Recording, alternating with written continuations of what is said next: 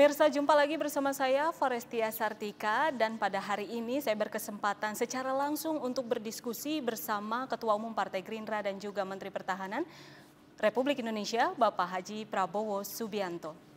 Apa kabar Bapak? Alhamdulillah sehat, Alhamdulillah. Kegiatannya apa aja di tengah COVID saat ini Pak?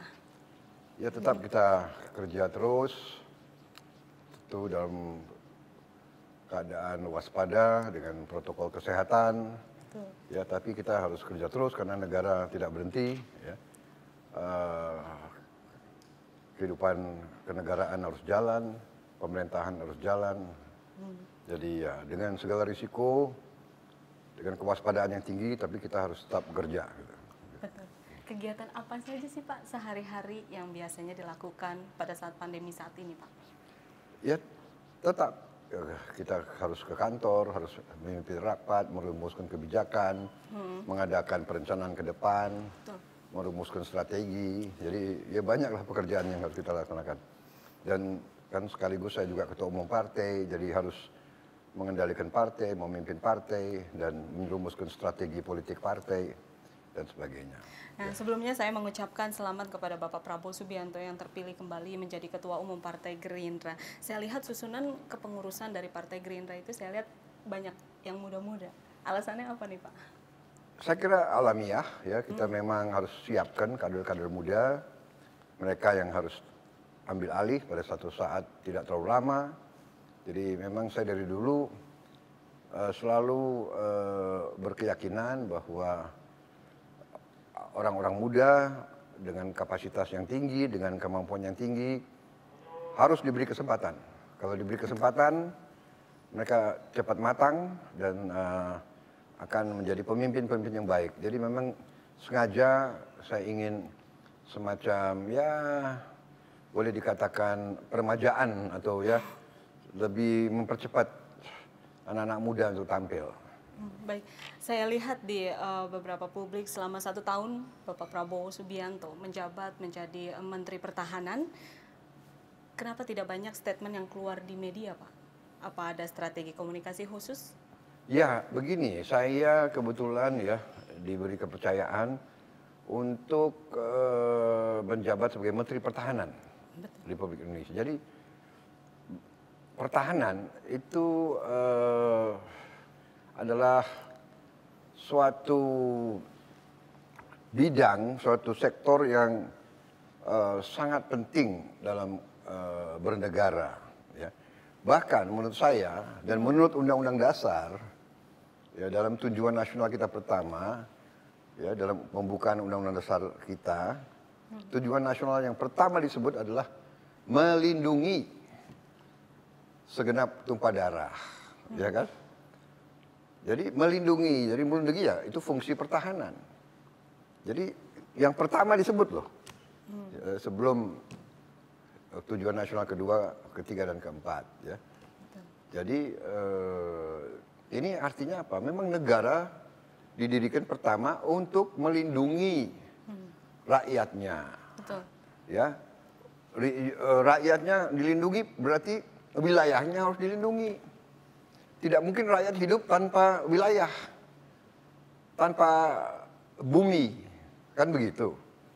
Jadi eh, dengan begitu pentingnya sektor pertahanan, sektor pertahanan itu juga kan eh, hakikatnya adalah menjaga daripada menjaga eh, kemerdekaan kita, kedaulatan kita dari ancaman dari luar, dari negara asing. Negara asing tapi sering memakai orang dalam Ya, jadi kita juga nggak bisa bilang, oh kita jaga perbatasan saja. Nah, dalam hal ini masalah security, keamanan, masalah katakanlah kerahasiaan itu sangat penting. Jadi salah kalau Menteri Pertahanan banyak bicara, kan begitu, ya kan? Yeah. Saya saya nggak boleh cerita, oh kekuatan kita segini, kita akan begini, kita akan beli alat ini, kita itu nggak benar. Hmm. Nanti orang-orang yang tidak suka sama Indonesia, yang punya niat tidak baik, akan tahu. Jadi ini memang memang demikian. Tapi ya eh, pada saatnya saya akan bicara ya. Tapi intinya itu. Jadi eh, tidak boleh terlalu banyak bicara, tapi memang eh, rakyat sendiri saya kira menyadari bahwa fungsi pertahanan sangat penting ya. Dan selalu ini debat, dilema, yang mana duluan? Ya, eh, keamanan atau kesejahteraan? Ya kan? Mau aman atau mau kaya? Ya kita mau dua-duanya. Tapi yang mana dulu? Coba pikirkan. Kalau kita mau kaya, tapi nggak aman, ya kekayaan kita diambil. Betul. Kan begitu. Betul. Untuk apa kita bangun, bangun, bangun, tapi tidak aman negara. Ya, ini kunci. Banyak negara sekarang sedang debat tentang ini. Yang mana duluan? Menurut menurut saya justru kita harus seimbang. Tapi yang pertama ya ini banyak negara loh di seluruh dunia bahwa masalah keamanan syarat untuk kesejahteraan. Kalau tidak aman nggak mungkin sejahtera. Sampai kita lihat negara Amerika Serikat, negara yang katakanlah saat ini dianggap terkuat dan memang terkuat, anggaran pertahanannya itu adalah untuk banyak waktu 60% dari seluruh APBN mereka untuk pertahanan. Ya, sekarang turun 50%. Sekitar 50% dari seluruh APBN Amerika untuk pertahanan. Bayangkan. Ya, kalau Singapura kalau tidak salah sepertiga. Negara yang hanya ya negara itu kan sebesar Bogor sebetulnya kan. Ya kan? Jumlah penduduknya 5 juta orang. Tapi mereka menilai kemerdekaan mereka, kedaulatan mereka sangat penting sehingga 30% anggaran APBN-nya 30% untuk pertahanan. Ya, kemudian dari eh, produk eh, nasional, produk GDP yang disebut orang, produk domestik bruto ya, totalitas itu eh, mereka sudah Singapura saja 3 persen 3%. dari dari GDP mereka. Kalau kita nggak sampai satu persen. Ya ini yang saya ingin taruh dalam konteks ya. Yang mana duluan, security or prosperity? Ah, menurut banyak orang, untuk apa you prosperity you bangun nanti ini dicuri orang, ya kan? Nanti ada pulau kita dicaplok, nanti ada lautan kita dicaplok. Kenapa? Di sekitar pulau itu banyak minyak, banyak gas, di lautan itu banyak minyak. Ini kan dibutuhkan untuk kesejahteraan rakyat. Betul. Ya, jadi ini sangat kadang-kadang sangat sulit karena banyak ya peng- banyak orang-orang pintar di Indonesia. Waduh, untuk apa pertahanan? Ya kan? Yo, pertahanan ini syarat untuk kesejahteraan. Ya. Rakyat butuh kesejahteraan, tapi rakyat juga harus butuh keamanan. Selama Ya, ini yang menjadi kesulitan Bapak menjadi Menteri Pertahanan itu apa Pak? Saya kira eh, kesulitan tantangan itu pasti ada. Ya, memang di Indonesia ini ada budaya yang saya lihat ya ini sudah nggak tahu dari mana menaul terutama para birokrat birokrasi ya ki- kita butuh birokrasi yang baik kita butuh birokrat tapi ada juga ada juga sementara saya lihat eh, yang sudah menjadi apa ya pameo ya. Kalau di Indonesia ini apalagi di banyak birokrasi kalau bisa dibikin susah kenapa dibikin gampang? Gitu. ya kan? Kenapa kalau bisa dibikin rumit kenapa dibikin sederhana? Ya tapi presiden marah-marah gitu loh ya kan? Ya kadang-kadang ini susah itu. Saya jadi kalau kalau anda tanya kesulitan ya menghadapi mental-mental seperti semacam ini ya kan jadi eh, di depan siapa siapa? Di belakang ya kan nanti. Anda cari alasan eh, pandai-pandai itu banyak banyak banyak ya eh, pejabat Indonesia banyak pandai mencari 200 alasan untuk mengatakan tidak ya kan? Tidak bisa pak. Atau sulit. Peraturan menurut peraturan ini menurut peraturan yang bikin peraturan kan manusia gitu loh ya kan? Iya. tapi ya itu kita selalu mencari regulasi untuk membelenggu diri kita sendiri. Oh. Jadi ini kalau ditanya kesulitan, tapi ya kita sabar, kita atasi, kita lobby, kita kasih penjelasan kan gitu ya. Setiap tantangan Iya. harus dihadapi ya Pak. Iya. Lalu ke tapi ya kadang-kadang ya benar-benar ya kita juga mengecewakan lah gitu ya. Ada pejabat-pejabat yang kadang-kadang tidak berpikir bangsa gitu, berpikir hanya sektornya saja dan sebagainya. Tapi Ya. sejauh ini komunikasi dengan para menteri ataupun para pejabat yang Para menteri Bapak, eh, baik, saja. ya baik, Eh, eh, tapi juga saya kira mereka juga menghadapi gitu, ya kan. Lalu dari Kementerian Pertahanan sendiri ke depannya atau yang paling dekat sekali apa yang akan Bapak lakukan? Dari menteri. Yang paling karena kita kan eh, di, diberi kepercayaan anggaran yang cukup besar ya Betul. oleh negara. Yang saya ingin tertibkan adalah eh, untuk mitigasi kebocoran. Mitigasi. Ya, jangan sampai kebocoran itu berlanjut, apalagi melebar atau menambah. Ya, Ini kadang-kadang ya itu yang fokus saya gitu. Jadi eh, dalam pembelanjaan, pembelian alat alutsista, alat-alat utama, alat-alat sistem pertahanan, saya ingin harga yang terbaik, harga yang paling murah, tapi kualitas paling tinggi. Ya kan ini selalu, selalu perjuangan saya. Jadi dan itulah yang yang membuat saya harus banyak keliling keluar luar negeri karena kita banyak tergantung eh, teknologi masih banyak dari luar. Kita ingin kembangkan, presiden terus ingin kembangkan industri dalam negeri, ini terus kita push, tapi sementara kita masih butuh sebagian dari luar. Nah, untuk beli teknologi militer dari luar harus ada izin dari pemerintah, nggak bisa kita langsung ke pabriknya. Karena itu kita harus datang ke pemerintah, ke, saya harus datang ke Menteri Pertahanan negara-negara itu, kulo nuwun, sowan, minta izin kan begitu. Dan kalau mereka mereka baik sama kita, mereka memandang Indonesia bersahabat, baru kita harus bikin perjanjian, ya kan? Perjanjian kerjasama pertahanan, Defense Cooperation Agreement. Dari situ baru kita bisa negosiasi sama pabrik-pabrik. Nah, jadi ya kadang-kadang itu ya kadang-kadang capek harus datangi semua negara ya kan eh, untuk me- mendapat izin boleh atau tidak membeli. Kadang-kadang dia nggak mau kasih. Negara ini dia mau kasih, negara ini tidak boleh. Jadi ada tingkat-tingkatannya. Karena itu persahabatan, eh, diplomasi itu sangat penting. Jadi ya itulah langkah-langkah yang kita harus lakukan ke depan itu. Ya. Sejauh ini kan Bapak eh, berkunjung ke beberapa negara untuk Iya. menjalin eh, hubungan diplomasi Iya. bersama ber- Iya, beberapa iya, negara. iya. Bagaimana Pak? Apakah ada perkembangannya? Ya, Indonesia? alhamdulillah ya, alhamdulillah. Memang Indonesia kan menganut eh, politik eh, bebas aktif. Betul. Kita tidak mau terlibat dalam aliansi-aliansi. Kita mau bersahabat sama negara, semua negara, ya kan? Saya apa sering mengatakan politik kita adalah seribu kawan terlalu sedikit, satu musuh terlalu banyak. Iya. Jadi ini positif. Jadi kita baik sama semua, tapi tentunya eh, ada tantangan juga ya. Kalau kalau orang yang tidak punya aliansi kan berarti tidak mau masuk ke suatu ikatan sekutu. Kalau tidak ada ikatan sekutu berarti kalau kita diancam atau kita mau diganggu, kita harus tergantung sama diri kita sendiri. Kalau negara lain, negara kecil kan dia bikin sekutu. Jadi kalau dia diancam serang, oh dia bisa dapat perlindungan. Ya kita hanya bisa percaya dengan kekuatan kita sendiri. Kita harus berdiri di atas kaki kita sendiri.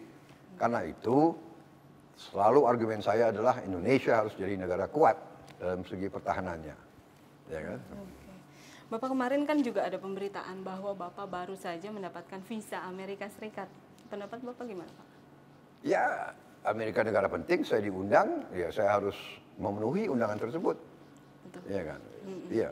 Walaupun perjalanan jauh, sekarang pandemi COVID, tapi ya tetap kita hormati. Saya menghadap presiden, saya lapor presiden Pak, saya dapat undangan dari Amerika Serikat. Presiden mengatakan ya harus berangkat.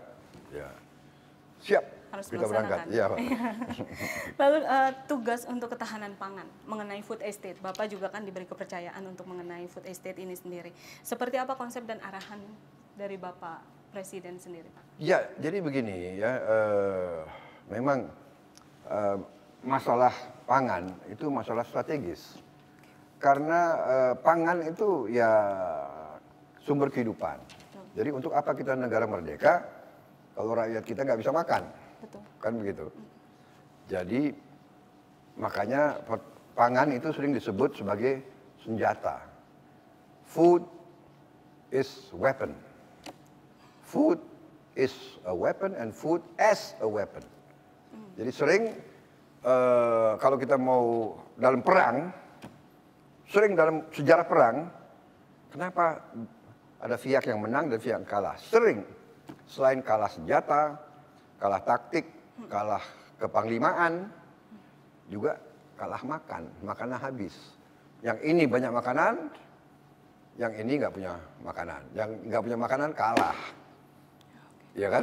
Bener gak ya? Tentara ya, mau beraninya bukan main kalau nggak makan, bagaimana? Kalah. Ya jadi makanya tidak aneh kalau presiden uh, memandang pangan itu juga bagian dari pertahanan dalam keadaan darurat. Ya jadi beliau menunjuk saya untuk ikut membantu mengurusi, membina pembangunan pembentukan cadangan pangan strategis. Cadangan. Jadi bukan ya jadi salah kalau ada pandangan oh Menteri Pertahanan mau mencampuri urusan pertanian tidak. Kita dukung. Jadi Menteri Pertanian monggo silakan. Bulog silakan kita cadangan. Jadi kalau main bola itu kan ada pemain yang main, ada pemain cadangan, benar nggak? Jadi kalau ini repot, kita bisa backup, kita bisa backup, ya kan? Dan TNI kan selalu apa uh, loyal sebagai alat negara. Jadi ya sering TNI akan turun untuk membantu, bukan Betul. untuk menggantikan. Ya. Hmm. Lalu ya. apa sih perbedaan untuk uh, food estate di era sebelumnya dengan yang di era saat ini, Pak? Uh, ya, saya kira sekarang ya presiden kita sudah melihat secara keseluruhan beliau juga dapat uh, katakanlah uh, warning-warning dari PBB, FAO bahwa tahun 21 ini cuaca mungkin uh, tidak stabil, mungkin ada kemarau panjang, berarti bisa ada kelangkaan pangan di kawasan tertentu di Asia Tenggara. Untuk itu beliau sudah jauh ke depan ingin menyiapkan uh, suatu cadangan pangan dan teknik, tekniknya atau caranya adalah untuk membuat food estate kawasan yang cukup besar hmm. supaya ada economy of scale efisien modern teknologi di tempat-tempat yang sedikit penduduk mungkin di bekas hutan-hutan yang rusak yeah. kita rubah jadi kawasan produktif jadi ini saya kira arahnya itu sinergitas ya. bersama para menteri yang lainnya juga. Oh iya, Menteri Pertanian, PUPR, semua ini yang yang di depan itu kan PUPR, PSU dan sebagainya. Menteri apa eh, LKH ya lingkungan hidup dan lingkungan kehutanan. Hidup, Habis itu Menteri KKP, kelautan ini semua kita berpikir ke arah situ. Ya. Baik, baik. Bapak nanti kita akan lanjutkan kembali usai jeda berikut ini.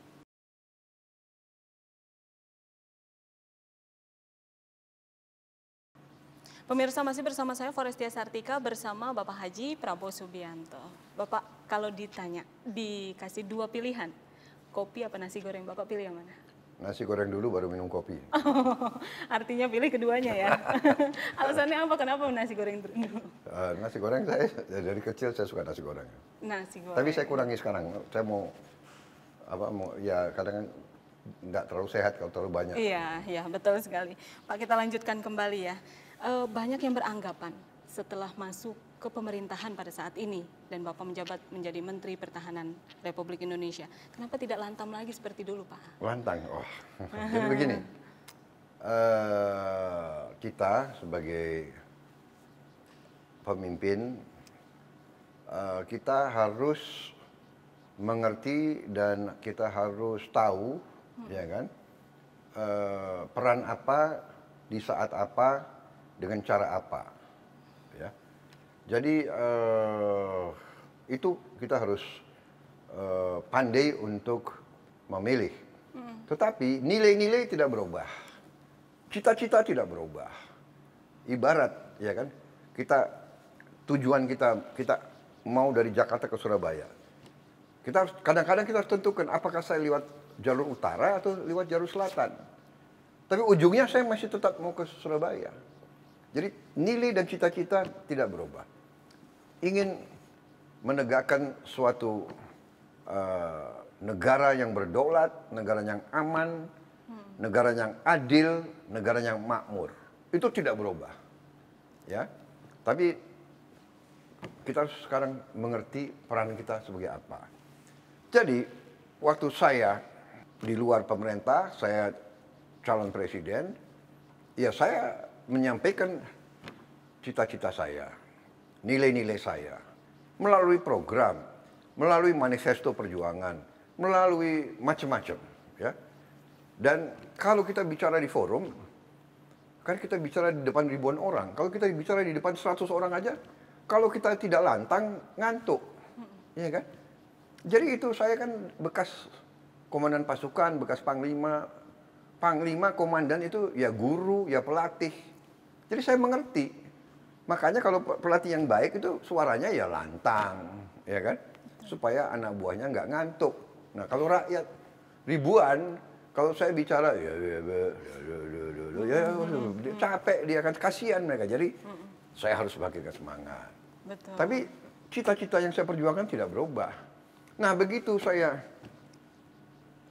memutuskan bahwa demi kepentingan bangsa dan negara, supaya Indonesia kuat, kita harus ada ketenangan, kita harus ada stabilitas, kita harus ada persatuan, kita harus ada kerukunan, ya kan? Karena negara kita sudah dari zaman dahulu, ratusan tahun sebelum kita punya Republik Indonesia, Nusantara ini ratusan tahun kita diganggu.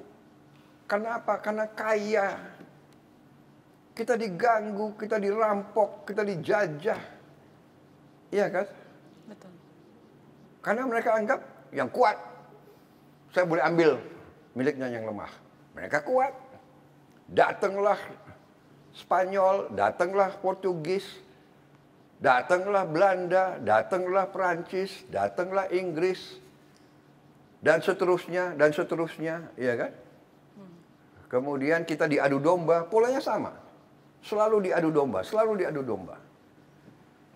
Jadi setelah saya pelajari sejarah ini, saya bilang oke, okay, sebagai pemimpin kita harus tahu. Dan kita punya sistem. Kita sudah milih sistem demokrasi. Kita harus melalui pemilihan. Kita minta kekuasaan kita minta mandat dari rakyat, kita minta dari rakyat melalui pemilihan. Kita tidak puas kadang-kadang. Kita kecewa kadang-kadang. Kita menganggap sistem tidak baik. Ada kecurangan. Ya marilah kita perbaiki. Bersama. Jadi waktu itu saya demi kepentingan nasional dan keyakinan saya bahwa saya bisa kerjasama dengan Pak Jokowi. Saya kenal beliau lama, kita rival. Hmm. Tapi Anda perhatikan, dalam debat pun kita saling menghormati. Saling kita betul. saling hmm. bercanda, kita saling beri nggak? Untuk betul. memberi kesan kita ini saudara. Kita rival, tapi kita ini bukan musuh, bukan kita kadang-kadang sedih kita lihat contoh di negara lain ya. Hmm. Debat itu ya kan sampai sampai sudah tidak sopan dan tidak apa. Ini budaya Indonesia lain. Ada beberapa rekan saya, ada beberapa pendukung saya yang sempat kecewa sama saya. Oh, Betul. Oh, kenapa Bapak kok? Akhirnya ya, bergabung. tapi pribadi saya ya seperti itu. Jangan kamu dikte saya. Saya memang banyak orang anggap saya keras ya, dan sebagainya. Ya, tapi saya juga merasa bahwa pemimpin itu harus memberi citra kesejukan dari dulu saya. Ya. Nah, jadi waktu itu saya lihat dan uh, saya putuskan, oke, okay, kita rekonsiliasi, kita gabung dan kita kasih kesempatan Pak Jokowi untuk memimpin. Di awalnya saya sebenarnya tidak berharap jabatan apa saja, hmm. ya kan?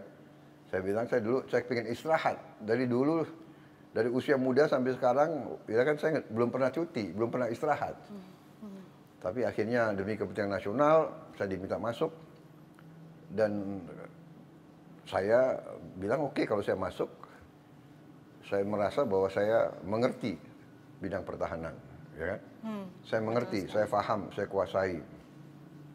Dan akhirnya beliau beri saya kehormatan, kepercayaan, saya menjadi Menteri Pertahanan. Dan setelah saya masuk kabinet, saya lebih lihat bagaimana beliau kerja, dan saya saya yakin bahwa niat beliau baik. Saya bukan sok ngolor di sini atau apa, saya yakin beliau nasionalis, beliau mikirin rakyat, ya kan? Bahwa setiap pemimpin kadang-kadang uh, ada kalau istilah orang barat bubble ya. Setiap pemimpin itu muncul pasti ada bubble. Ada lingkaran yang meli maksudnya melindungi. Hmm. Tapi kadang-kadang melindungi kadang-kadang juga ya budaya orang Indonesia kan begitu kan. Apa nggak uh, takut memberi laporan yang sebenarnya ya kan. Kedua juga ada juga kadang-kadang yang menurut saya sih suka apa ya uh, menggiring pemimpin hmm. untuk mengambil suatu keputusan, etc., etc. begitu loh. Saya juga merasakan di, di lingkungan saya kan begitu. Hmm. Ada orang yang ngaku ini petunjuk Pak Prabowo Subianto, ya kan? ini petunjuk Ketua Umum Gerindra, padahal tidak lewat saya. Hmm. Kadang-kadang ngaku, ya, dan ada, ada ada juga yang umpamanya dia sok menjadi apa ya, sok menjadi filter gitu loh Kadang-kadang ya kan surat-surat ke saya nggak disampaikan. Undangan saya diundang ke mana nggak disampaikan. Jadi pihak yang undang kan banyak kecewa. Ya. Bilang, oh Prabowo nggak menghormati saya, Prabowo nggak menghargai saya. Padahal surat undangan itu nggak sampai. Nah ini kejadian ya. Ini saya dulu Panglima, saya habis itu Ketua Umum HKTI, saya juga pemimpin perusahaan, saya juga pengusaha, saya mimpin organisasi sering terjadi begitu. Ya nanti di perusahaan saya itu ada ada kubu-kubu. Mhm. Ini dua tiga orang jadi satu kubu, di dua ya ini manusia. Ya. Benar nggak? Di partai ada juga si ini si itu. Nah, nanti yang ini mau masang orangnya, yang ini mau masang orangnya kan iya. begitu kan. Nanti ini wah itu jadi. Nah, habis itu selalu enggak ini sudah dari Pak Prabowo. Padahal enggak gitu loh, ya kan? Padahal enggak. Tidak ya itu jadi dari zaman Pak Harto begitu kan begitu. Oke. Okay. Ya, pemerintah juga gitu. Dari zaman Bung Karno begitu. Saya kira dari zaman Gajah Mada begitu. ya kan? Nah, jadi bagaimana kita sikapi ya itu. Tapi saya saya eh, yakin niat presiden baik. Saya saksi. Beliau selalu mikirnya mikirin rakyat. Jadi ini kadang-kadang yang salah persepsi gitu loh. Bahwa tentunya banyak lobby Ya di Amerika Serikat juga banyak lobby, ya kan? Betul. Supaya dapat dukungan presiden untuk ini, untuk itu. Ya. Jadi inilah ya kita harus harus bekerja. Ya. Saya kadang-kadang ya itu. Tapi saya prinsip kalau saya kepala pimpinan saya dan sekarang beliau pemimpin saya di bidang pemerintahan, saya harus laporkan apa adanya. Hmm. Apa adanya, benar nggak? Ya sudah. Tapi yang kita lihat sekarang antara Bapak uh, Jokowi, Bapak Presiden dengan Bapak Prabowo Subianto itu hubungannya sudah sangat erat dan lembaga survei juga uh, berbicara mengenai Bapak Prabowo. Tanggapan Bapak seperti apa? Banyak lembaga survei yang malah justru menyukai, sangat-sangat menyukai Bapak Prabowo Subianto pada saat ini yang bergabung di pemerintahan. Ya begini ya, saya ini terus terang aja ya, saya hmm. ini apa ya, um, selama ini saya fokusnya itu saya ingin bekerja dengan baik. Hmm. Itu aja. Saya ingin bekerja dengan baik. Uh, jadi saya tuh kadang-kadang ya tidak terlalu pelajari ya oh, survei itu. Karena survei ini juga kadang-kadang menakutkan, benar nggak? Kalau kita kita dikasih angka baik hari ini, besok bisa enggak, kan begitu kan? Benar nggak? Ya, ya betul. enggak? Ya. Jadi jadi itu juga menjadi beban ya. Kan? Hmm, hmm. Kemudian begini, kalau saya terus terang aja ya, saya bukan mau sok merendah. Tapi kita ini satu tim. Satu tim. Kabinet itu satu tim. Gak ada orang yang bisa bekerja sendiri. Gak ada. Gak ada. Jadi saya, dan saya juga bukan, sekali lagi, bukan cari muka. Saya terus terang aja melihat banyak di kabinet ini yang hebat-hebat. Mereka profesional, mereka di bidangnya menguasai, dan ya sudah gitu ibarat suatu orkestra. Ada yang pemain apa itu? Biola. Biola ya, ada yang trompet, ya. ada yang ya masa pemain viola dia juga mau main trompet, benar nggak? ya. Kacau itu orkes orkes ya, benar nggak? Ya, Jadi this is a team. Jadi kadang-kadang siapa yang hari ini atau bulan ini apa eh, prestasi terbaik. Ini kan nggak benar. Sepak bola itu benar nggak? Iya. Sepak bola 11 orang harus kerjasama. Benar nggak? Yang ngekick gol apa dia sendiri? Kan bola dibawa dari belakang kasih dia, ya kan? Digiring. Iya. Digiring. Jadi saya kok agak saya agak was-was itu ya dengan lembaga survei. Malah Makanya, justru aduh, was-was ya, Pak. iya. Malah justru was-was ya. Was-was, iya, jadi eh, dan terus aja saya objektif, saya menilai rekan-rekan saya banyak juga yang terus terang aja ya, memang mereka yang terbaik di negara ini.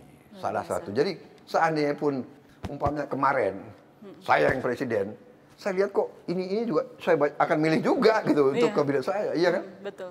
Because when you're already there, kamu kamu harus berbuat untuk negara.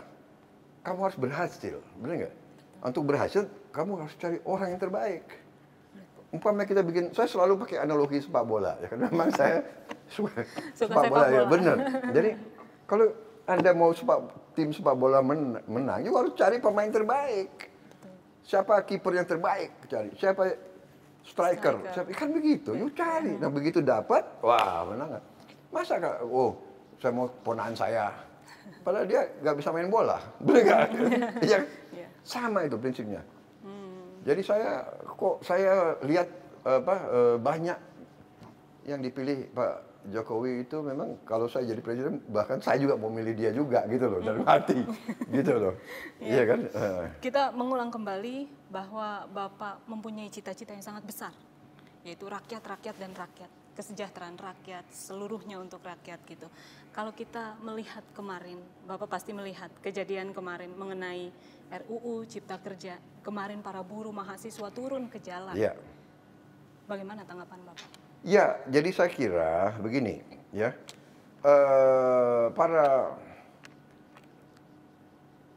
eh, pemimpin buruh eh, mereka punya kewajiban untuk membela kepentingan buruh. Dan kita menyadari sekarang bahwa negara dalam keadaan susah, ya. Eh, ini sekarang ini pandemi COVID-19 ini sangat berbahaya. Ini wabah dunia. Dunia. Ini me- katakanlah menggoncangkan ekonomi dunia. Betul. PHK itu di mana-mana seluruh dunia, ya kan?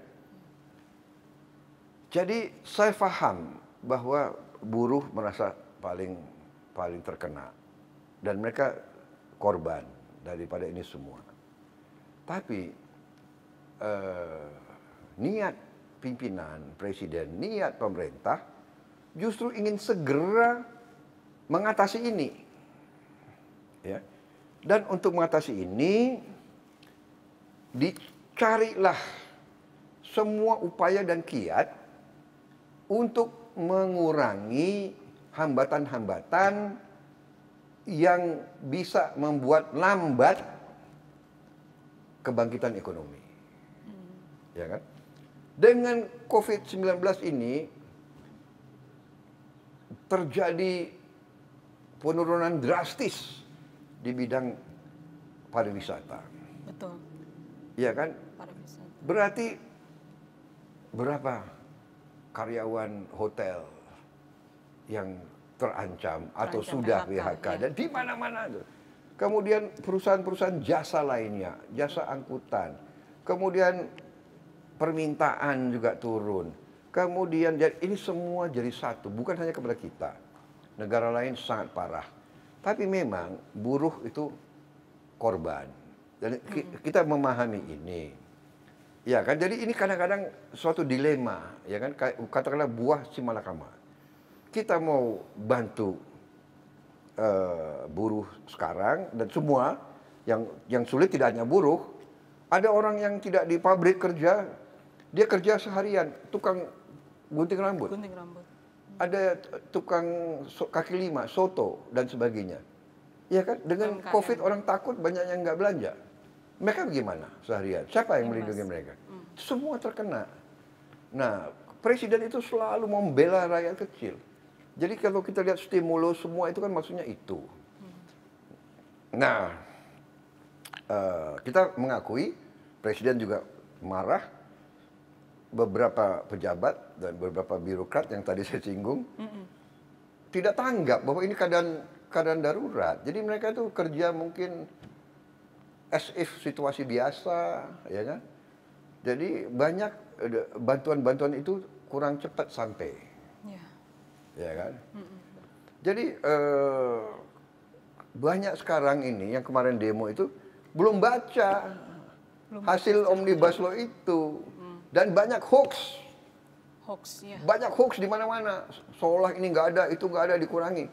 Dan saya ingin memberi peringatan, hoax ini berarti ada yang ingin menciptakan kekacauan. Betul. Nah, ya kan? Dan saya punya suatu keyakinan ini justru berasal dari luar negeri. Ada kekuatan-kekuatan asing, ada negara-negara tertentu di ya di dunia yang tidak pernah suka Indonesia aman dan maju. Itu. jadi ya ini jadi kadang-kadang tokoh-tokoh kita lihat benar dia yakin dia benar dan dia tapi dia tidak dia lakukan sesuatu dia tidak sadar sebetulnya ini permainan orang lain. Dan kita selalu saya tadi katakan dari ratusan tahun yang lalu selalu diadu domba ya kan ada undang-undang cipta kerja Iya. tidak hanya tentang itu tapi be- beberapa 11 kalau ya Iya, ada 11 11 klaster. ya. ada penyederhanaan perizinan tanah Betul. ada juga investasi. persyaratan investasi yang juga dimudahkan ketenaga kerjaan nah, ini kemudahan dan perlindungan UMKM sekarang jadi koperasi cukup kalau tidak salah 9 orang dan tidak perlu ada izin hanya pemberitahuan saja. Kemudian ada kemudahan berusaha dukungan riset inovasi administrasi pemerintahan juga mau disederhanakan pengenaan sanksi pengendalian lahan kemudahan proyek-proyek pemerintah, dibentuk kawasan-kawasan ekonomi khusus. Jadi banyak sekali yang mau di mau diratikan, disederhanakan, birokrasi dipangkas supaya timbul pertumbuhan. Ya. Betul. Tanpa pertumbuhan tidak mungkin ada perbaikan kehidupan ekonomi dan dengan demikian kehidupan buruh akan tambah parah. Jadi memang eh, kita paham, saya paham kesulitan buruh. Saya dari dulu berjuang untuk buruh. Betul. Ya, Gerindra itu partai selalu membela buruh. Tanya ada semua pemimpinnya eh, di pihak siapa kita. Dan waktu omnibus law ini dibahas di pemerintah, eh, di DPR, DPR. Partai Gerindra juga yang paling keras membela kepentingan semua, buruh, tani, nelayan dan sebagainya. Eh, dan dengan sungguh-sungguh ada ada buktinya, ada rekamannya semua. Mungkin eh, fraksi Gerindra yang paling banyak ketemu dengan tokoh-tokoh buruh dan sebagainya. Betul. Dan bisa dikatakan dari permintaan tuntutan buruh 80% sudah diakomodasi di dalam Omnibus Law ini, Undang-Undang Cipta Kerja ini. 80%. 80 persen. Ya, kita tidak bisa 100%. Ya, Namanya politik negara, kadang-kadang kita harus mengerti kita ada kebutuhan ini, kebutuhan itu, ada keperluan, ya kan? Eh, kita butuh investasi dari mana-mana dan kita harus tahu di zaman sekarang di era global ini perusahaan itu gampang dia pindah. Pabrik-pabrik sudah diasuransi. Jadi kalau mau mau mogok, mau dibakar, mau diduduki, si pengusaha tinggalkan aja. Pabriknya sudah diasuransi kok. Mana dia mungkin untung. Pabriknya aja disuruh bakar atau suruh apa, dia pindah. Modalnya pindah, transfer pakai digital, modalnya sudah pindah, pindah ke Vietnam, pindah ke Kamboja, pindah ke Thailand, pindah ke India, pindah ke Bangladesh. Jadi sekarang ini saya tahu ini buah si mereka dilema. Jadi pemimpin buruh ini dilema. Dia mau bela buruhnya, tapi kalau dia terlalu kencang, si pengusaha pindah. Jangan tidak hanya pengusaha asing, pengusaha Indonesia pun pindah. Sekarang sudah ada pengusaha-pengusaha Indonesia yang ada di India, yang buka pabrik di Nigeria, yang ada di Mesir.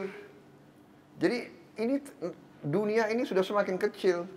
Modal itu cepat pindah. Nah ini yang harus disadari oleh teman-teman, kawan-kawan buruh. Jangan emosional, hmm. jangan cepat marah, jangan, eh, ya kan? Anarkis. Ah, jangan, jangan mudah untuk mau bikin aksi massa sehingga munculnya adalah vandalisme. Vandalisme betul. Ya kan? Nah, kalau nanti yang dibakar apa uh, sarana sarana umum sarana umum ya. itu kan dibangun dengan uang rakyat. Betul, betul.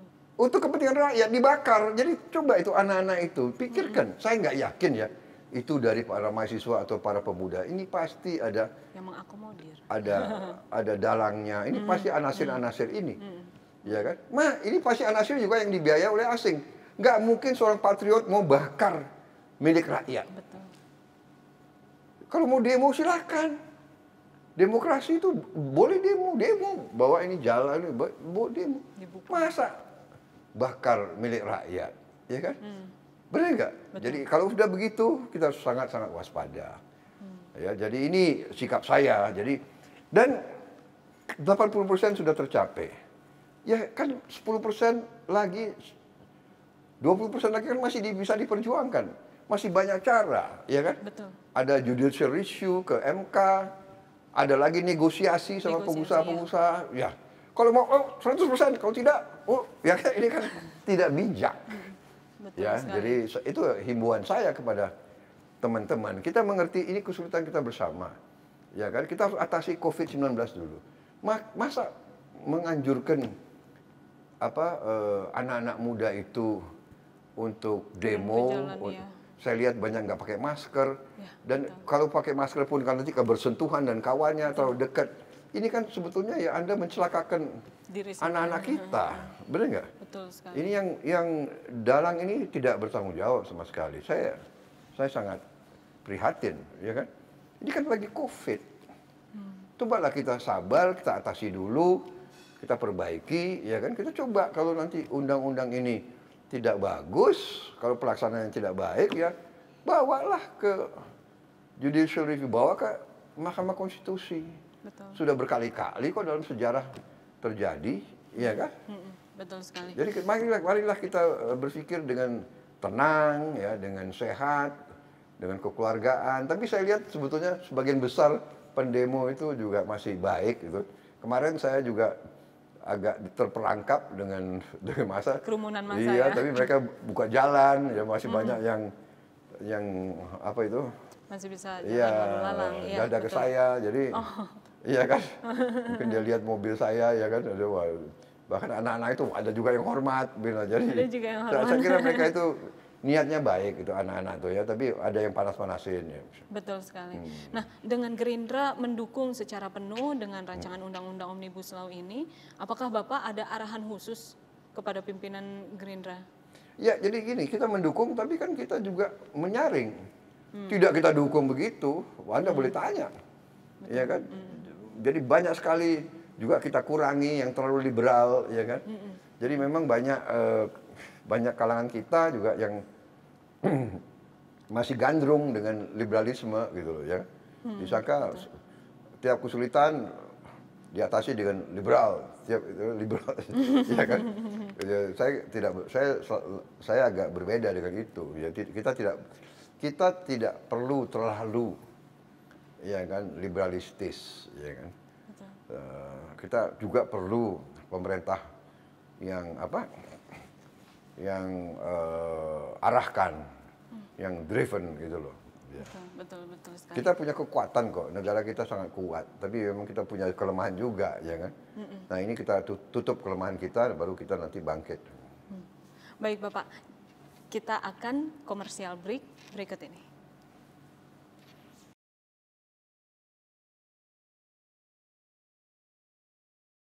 Ya pemirsa kita masih bersama Bapak Haji Prabowo Subianto. Bapak kita kan tadi sudah membahas mengenai uh, rancangan undang-undang Omnibus Law Cipta Kerja yang 11 klaster tadi. Sudah, sudah jadi undang-undang sebetulnya. Sudah jadi iya, undang-undang, ya, ya. iya betul sekali. Nah terkait undang-undang Cipta Kerja khususnya di klaster ketenaga kerjaan, terdapat 12 poin penolakan dari para buruh salah satunya tentang isu upah minimum. Hmm. Bagaimana tanggapan Bapak itu? Uh, Ya kan ada hoax bahwa upah minimum dihapus, itu dibaca dong, ya kan tidak seperti itu, Betul, ya kan? betul. Jadi di- dibaca telitinya itu. Jadi ada memang tentang pesangon, ya. kan? Tapi pelaksananya juga nanti kan bisa dinego dengan perusahaan-perusahaan itu, ya kan? Jadi itu semua bisa bisa di, diatasi, bisa di. Jadi tidak tidak apa ya mutlak harus eh, ditolak atau harus diterima kan itu bisa di di, di pelaksanaan juga sering dinego sama pengusaha-pengusaha itu. Jadi kalau perusahaan itu tidak sanggup, dia mintanya umpamanya 32 kali atau 35 kali mintanya di situ. Nanti pengusaha bilang enggak bisa. Ya ambil aja perusahaan saya. Yang yang yang saya sebutkan, ya ambil aja perusahaan saya. Saya udah diasuransi kok. Ambil aja alat-alat itu. Saya pindah aja. Kan saya nggak mampu. Kondisi ekonomi ini kayak begini. Akhirnya kan banyak juga ya oke lah nggak sampai 32 nggak sampai menerima berapa saja pesangon yang bisa dikasih. Nah ini yang kita maksud. Pemerintah tuh sudah mau lindungi buruh ya kan. Kita kita butuh dulu suatu iklim ya. Memang kita mengerti tapi saya yakin pemerintah dan eh, apalagi presiden yakin sedang mencari bentuk bagaimana kita lang, beri bantuan langsung. Sudah ada banyak eh, upaya kita ya. Sudah banyak sekali. Ada Ya. hal menarik di tengah eh, pengesahan RUU Omnibus Law ini Pak, yang tadinya dijadwalkan 678, tapi tiba-tiba di tanggal 5 itu langsung disahkan. Tanggapan Bapak itu seperti apa Pak? Ya kan kita, kita lihat, ini kan kondisinya COVID ini tidak tidak menguntungkan.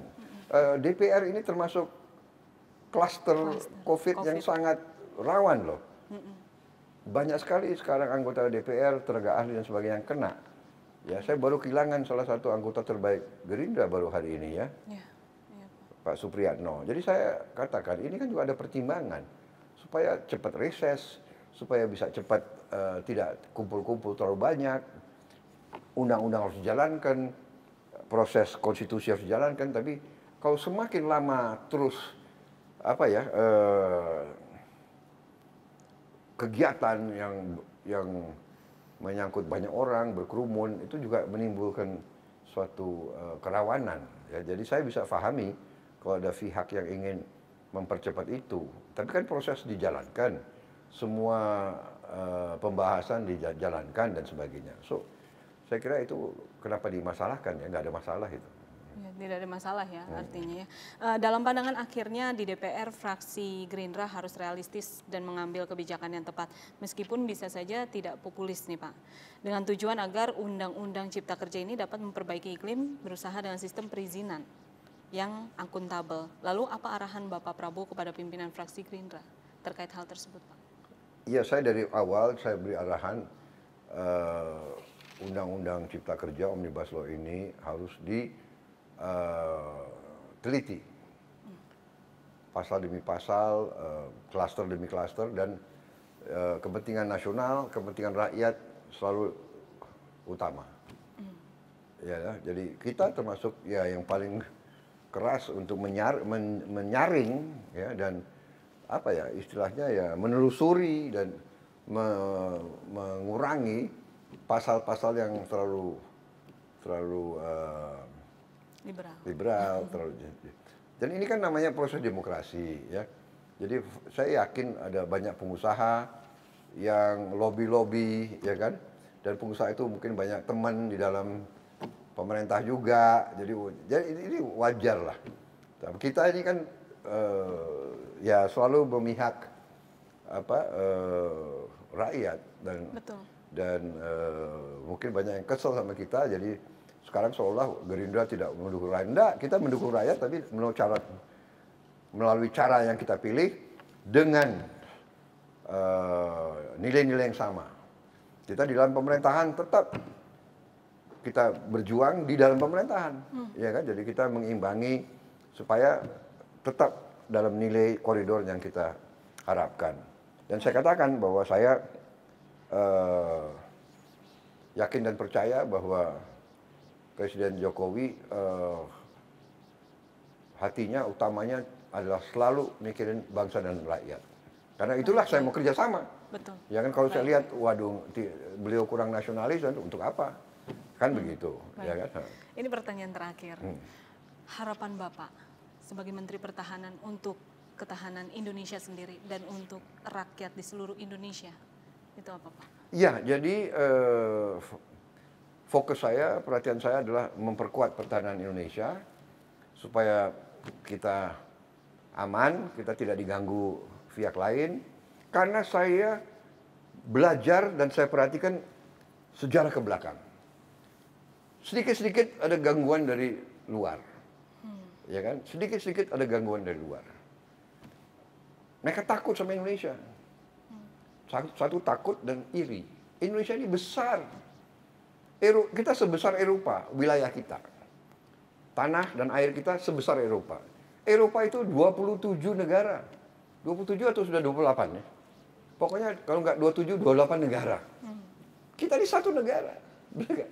Mereka punya 27 parlemen. Mereka punya 27 angkatan perang. Mereka punya 27 kepala negara, kita satu. Hmm. Luas. Kita ini sekarang ekonomi ke-15 di dunia. Dari 200 negara, ekonomi kita ke-15 di dunia. Ya kan? Dan diramalkan kita akan jadi ekonomi kelima, ekonomi ke-6 atau kelima dalam berapa tahun yang lagi. Bahwa masih ada ketidakadilan. Yes. Ini sedang kita perjuangkan. Ya kan? Bahwa sumber alam kita banyak dicuri. Yes. Ini harus kita amankan. Jadi kalau Anda tanya, fokus saya pertahanan harus kuat. Ini berbeda karena ada banyak juga tokoh Indonesia yang mengatakan, oh dalam 25 tahun nggak akan ada perang, tidak ada invasi. Hmm, hmm. Ya kan? Loh, ini sangat rawan, itu saya koreksi, ya kan? Hmm. Saya saya saya koreksi dengan bukti-bukti bahwa belum apa bahwa ini tidak benar, ya. Kita tidak boleh uh, buk, apa mengatakan tidak akan terjadi perang. Itu sama dengan saya mau berangkat ke Bandung, sebelum saya berangkat ke Bandung, saya katakan ke mana-mana, saya ke Bandung naik mobil dan tidak akan terjadi kecelakaan. Hmm. Loh, namanya saja kecelakaan, benar nggak? Kok saya bisa? Saya berharap tidak akan terjadi kecelakaan. Saya berdoa tidak akan terjadi kecelakaan, ya kan? Tapi saya tidak bisa pastikan saya ke Bandung malam ini, walaupun hujan, saya jamin tidak akan terjadi kecelakaan. Ya, itu satu, itu adalah orang yang mungkin menurut saya tidak bijaksana dan sombong, hmm. ya kan? Kok, kok tahu kamu nggak akan kecelakaan, benar kan? Hmm. Hmm. Itu sama. Kita tidak boleh sebagai unsur pimpinan di mana-mana, oh dalam 25 tahun tidak akan terjadi perang. Apalagi 25 tahun, dalam satu tahun aja kita nggak tahu terjadi kok niatnya niatnya negara dan kekuatan lain kepada kita kita tidak tahu. Benar nggak? Kalau ada negara yang mau eh masa negara, kalau ada perampok mau ke rumah kita, apa dia datang? Hei, aku mau merampok rumahmu, ya kan? Hah? Saya lusa akan datang merampok lo, kan nggak mungkin. Dia kan orang yang niat tidak baik tidak mungkin menyatakan bahwa dia akan berbuat tidak baik. Malah terbalik mulai kalau dia oh, oh dia baik-baikin kita kan. Tahu-tahu cuk itu namanya apa istilah kita kan banyak itu apa? Uh, tusuk dari belakang menusuk dari belakang ya kan? Menohok kawan seiring hmm, ya apalagi ya, ya. menggunting dalam lipatan kan begitu kan? Jadi hmm. banyak kasus. Jadi jadi uh, jadi itu ya pertahanan harus kuat uh, harus ada kerukunan harus ada sinkronisasi para pemimpin yang niat baik itu harus bisa mengedukasi rakyat. Anak muda harus ditenangkan, diajar dan sambil kita kerja keras untuk menciptakan lapangan kerja. Antara lain ini food estate juga begitu. Ini akan menciptakan lapangan kerja. Kita buka lahan-lahan yang banyak, satu juta hektar, dua juta hektar, tiga juta hektar, sepuluh juta hektar. Ini menyerap lapangan kerja. Ya kan? Ekonomi berjalan. Kawasan 30 ribu hektar perlu satu pabrik. Habis itu hasil pabrik perlu diangkut dengan kapal, dengan kereta api. Ini semua lapangan kerja semua. Harus ada pertumbuhan yang drastis, ya kan? Maksudnya presiden sangat strategik. Daripada kita uang yang susah kita import makanan dari luar. Ya kan? Kita ciptakan uang itu beredar di Indonesia. Jadi rakyat itu punya pekerjaan. Ya saya berharap untuk rakyat bahwa rakyat itu percaya sama pimpinan, pimpinan ber, bermaksud baik, percaya sama sistem kita, kita berusaha dengan segala kekurangannya kita berusaha perbaiki sistem itu. Um, saya optimis dan saya berharap kita waspada, jangan mau diadu domba dan percayalah ujungnya ini tangan-tangan dari luar kita. Baik. Jadi kita harus waspada, kita perbaikilah kekurangan-kekurangannya bersama. Baik. Terima Baik. kasih. Baik, terima kasih Bapak Haji Prabowo Subianto atas waktunya pada hari ini untuk kita berdiskusi mengenai permasalahan dan juga isu-isu politik yang ada di Indonesia khususnya. Ya. ya pemirsa itu dia tadi diskusi saya bersama Bapak Haji Prabowo Subianto, Ketua Umum Partai Gerindra dan juga Menteri Pertahanan Republik Indonesia. Kita akan lanjutkan kembali untuk program-program selanjutnya bersama saya Forestia Sartika, pamit undur diri, terima kasih dan sampai jumpa.